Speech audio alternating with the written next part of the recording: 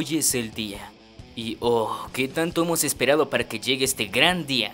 Estamos en fechas de San Diego Comic Con, y en esta época del año es cuando hay más información sobre cortos, películas y sobre todo series animadas. Y hoy hablaremos sobre una en especial, Infinity Train. Este primer capítulo a la hora que lo estoy subiendo aún no está subtitulado, pero cuando ya lo esté lo dejaré en la descripción, así que atentos.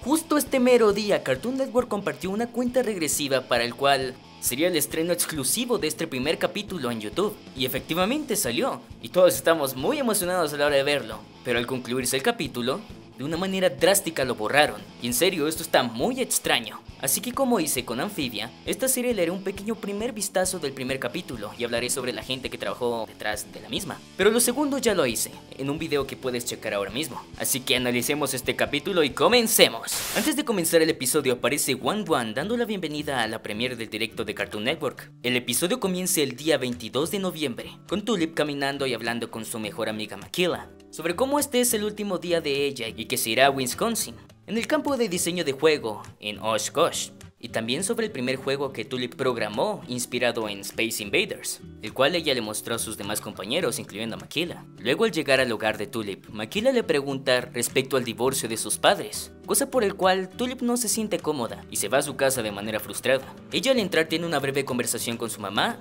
al subir las escaleras vemos un cuadro de la familia de Tulip con un primer vistazo de su padre para después hacer una transición al cuarto de Tulip, en el cual se pueden ver muchas cosas, pero se destaca un certificado de una odisea científica de mejor hipótesis aprobado, y de lado un volante del campo de diseño de juego de Oshkosh.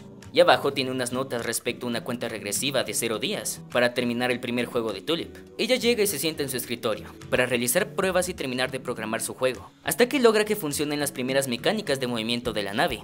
También en su cuarto podemos ver un cuadro de su mejor amiga Makila, una pequeña torre Eiffel, una bandera de un equipo de las ardillas, entre otras cosas. Su madre la vuelve a llamar para darle la mala noticia de que no podrán llevarla a Oshkosh por un inconveniente con su padre. Y en sí, el contrato y todo ya estaba planeado. Lo único que faltaba era que Tulip llegara a Wisconsin. Este tipo de cosas suelen pasar todo el tiempo, pero Tulip en vez de ser paciente y ver qué se puede hacer, decide de manera impulsiva escapar de su propia casa y llegar a Oshkosh por su cuenta. Así que se prepara y se embarca en su caminata de varios kilómetros hacia Wisconsin.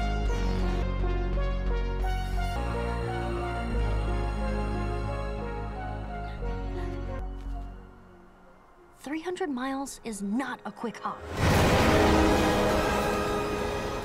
Ya al llegar la noche, Tulip se encuentra con un tren en medio de la nada. El tren marca el destino de Oshkosh. Oh, pero qué coincidencia.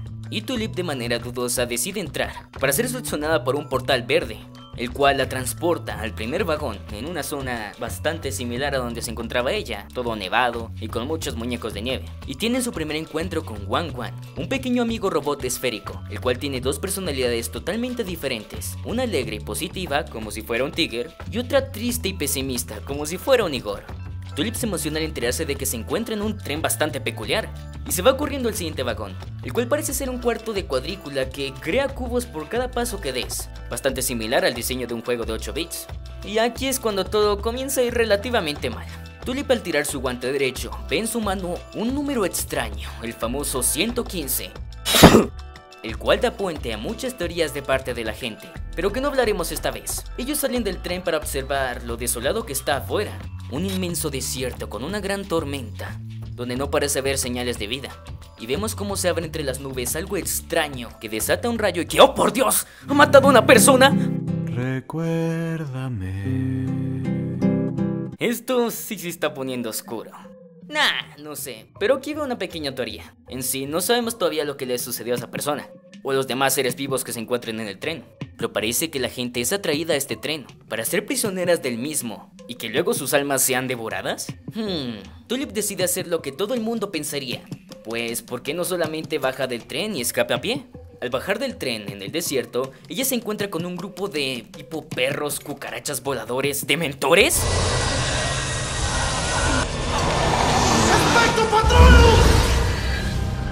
Digo de mentores porque succionan la fuerza vital de las personas. Así que ahora ya sabemos por qué Tulip no puede escapar a pie. Tulip escapa mientras Glad One tararea esa canción graciosa del saxofón.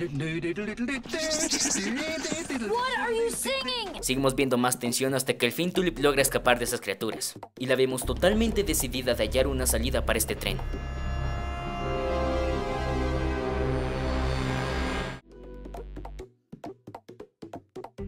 Dudas este primer episodio nos da una excelente introducción sobre los personajes, logrando definirnos en unos pocos minutos sobre su manera de ser y sus motivaciones. Pero bueno, este ha sido el primer episodio.